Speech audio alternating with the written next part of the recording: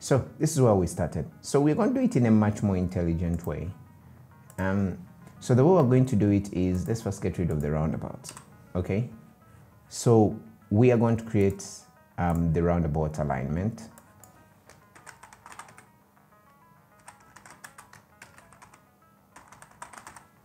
Okay, so it's going to be a center line alignment.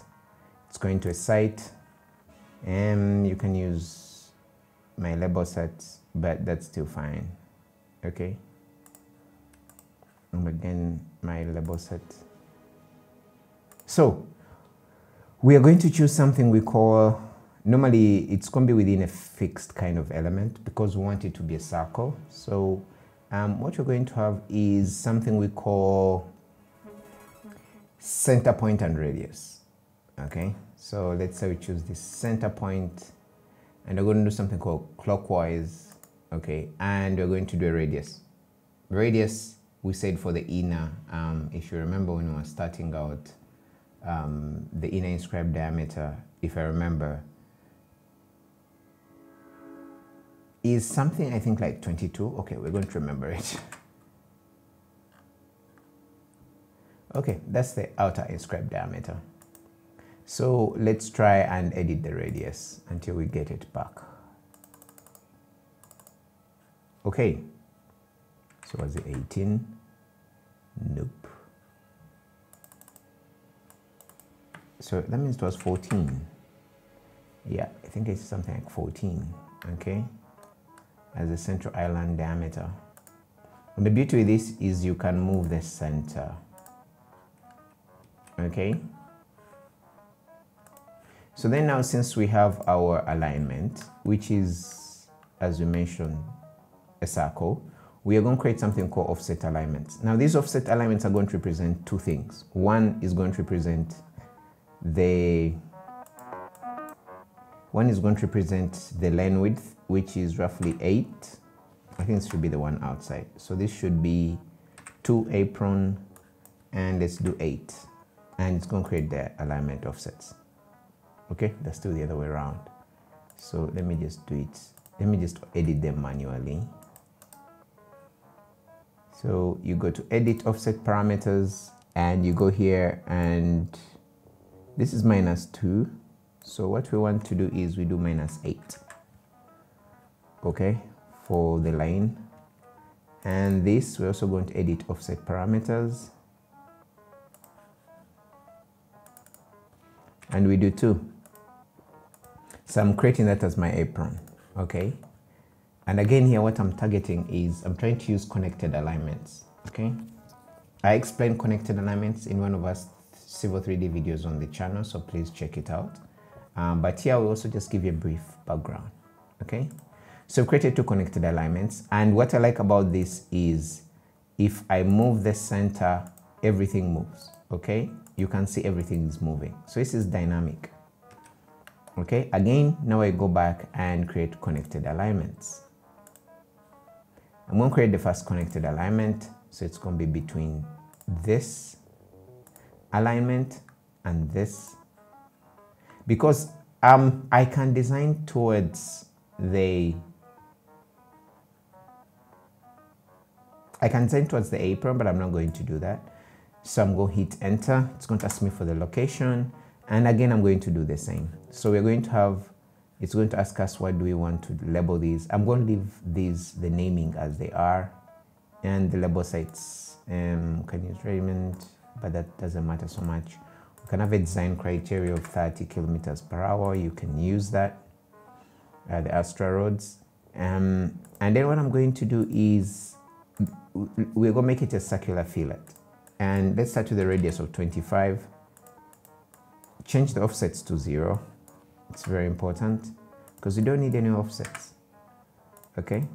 And the overlap let's do six meters okay? First start six okay? So when you preview it you can see what's going to create. It's going to create that kind of alignment okay?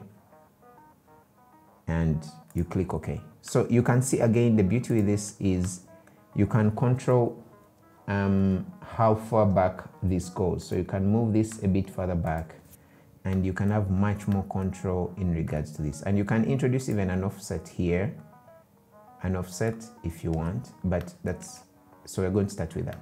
So we're going to do this for all the other.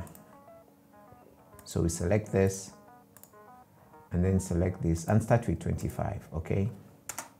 Roughly the same.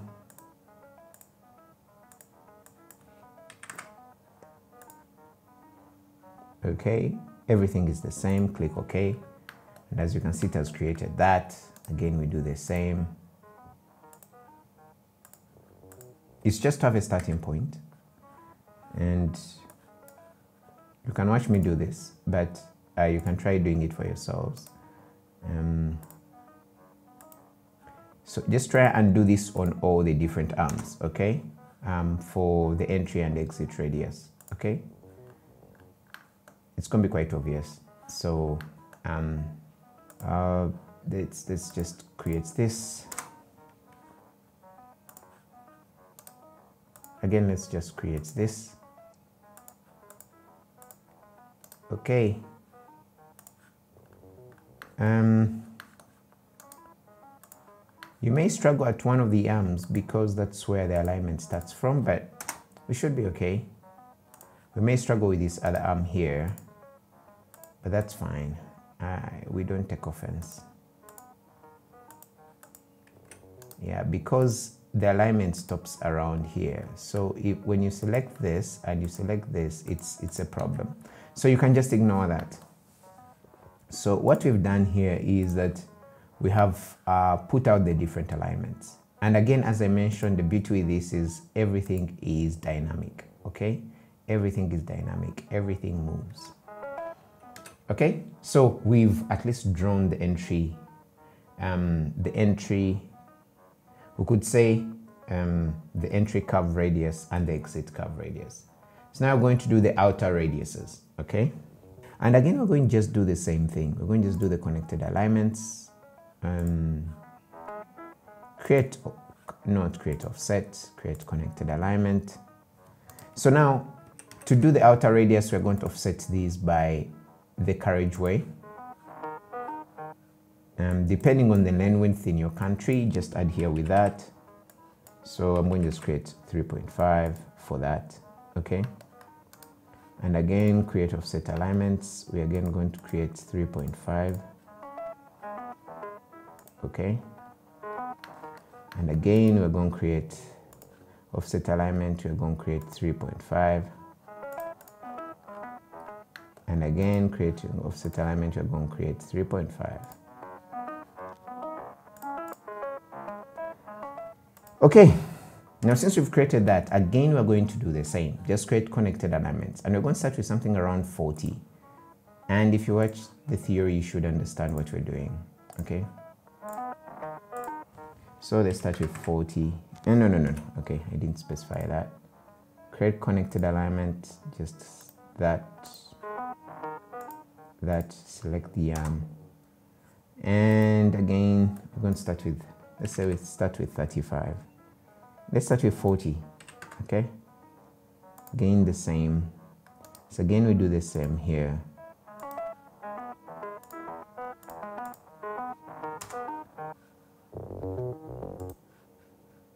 Okay? We do the same here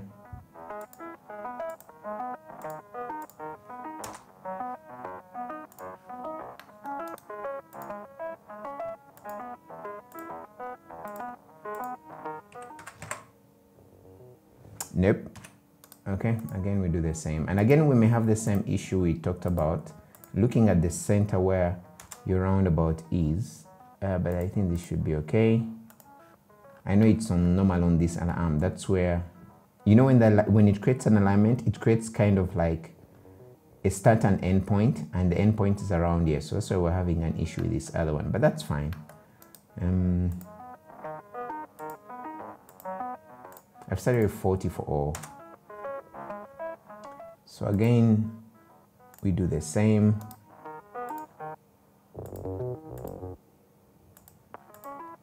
We do the same.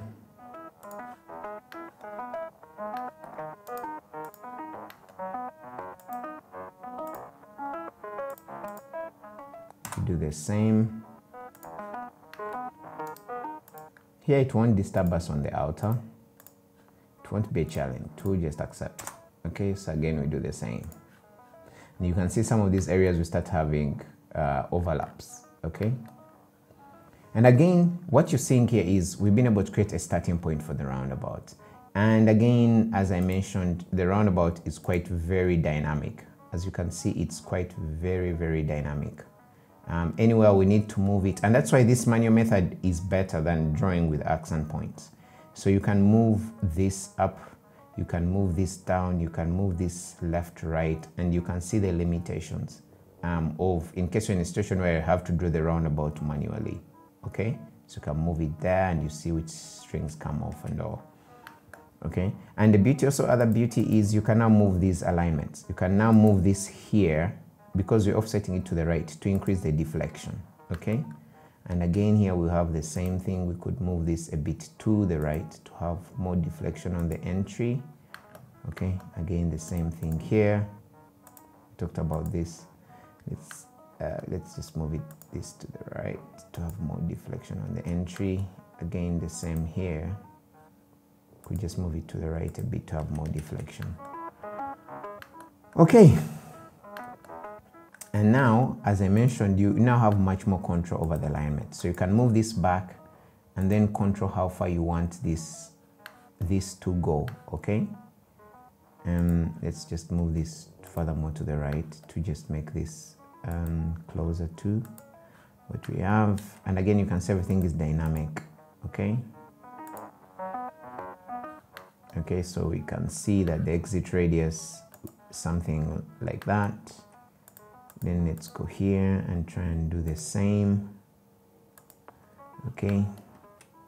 Again here we can do because it includes the shoulders but this is okay. So we can just turn this a notch down bit down. Okay. And again we're going to do the same here. So I expect you to do the same on all the other different arms and to just make sure you come up with something that's we can reduce this to reduce the overlap okay? Makes it a bit tighter. Again the same. Now this is where you have to learn the theory. The theory helps you know where to stop and what are your limits okay? Otherwise to be like video games. You just be playing video games with this. Okay. So now you can see here let's say if we go to alignment properties and we go to the connected property, shows me I have a radius of 33. Now, depending on what you're designing for, you can find out we can make this 35, okay? Um, why is it refusing? Okay, we have 30. Let me just push the offsets further down um, so that we have much more to work with. Okay, so you can find that we have um, a very good starting point for this. Now, we have drawn the roundabout and we've started now getting different parameters. So you can look at the different arc radiuses and you know the radius we're using. For example, in this case, we're using 25 and you keep checking these with your manual, okay? Um, and also you're looking at things like split islands where you're saying to yourself, the split islands at least, let's have 12. So thinking the length should be up to there and you can do a number of things. One, you can start with some form of offset and you say, okay, I need to do that. And the other ways is again making it much larger, okay, up to, let, us give it a very good point. So somewhere there, because that's a bit large. Okay, you do the same here, okay.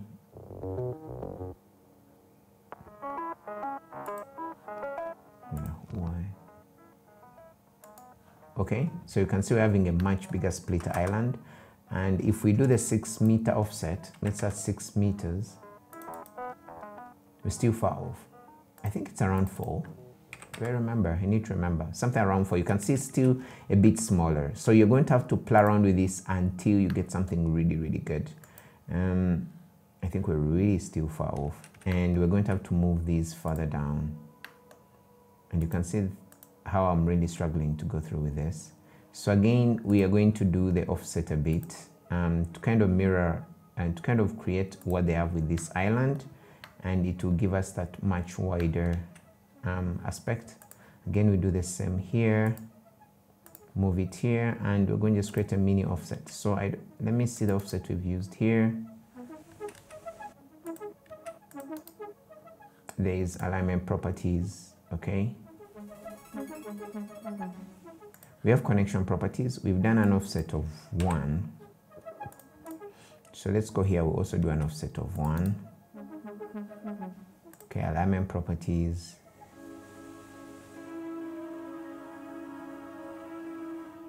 Okay, let's make this 35.